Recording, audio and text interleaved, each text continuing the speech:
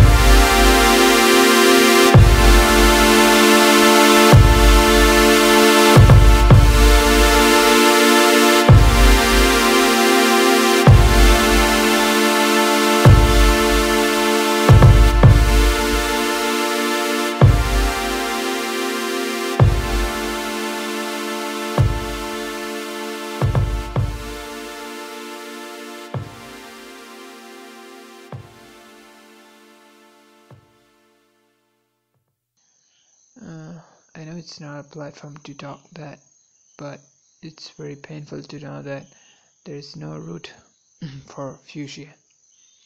It's completely different uh, from Android. Anyway, let's hope for the best. And as you can see, it's recording, and this is what I would like to show you. I am very happy to announce that you can record your screen by using Android Terminal and share this video to all your friends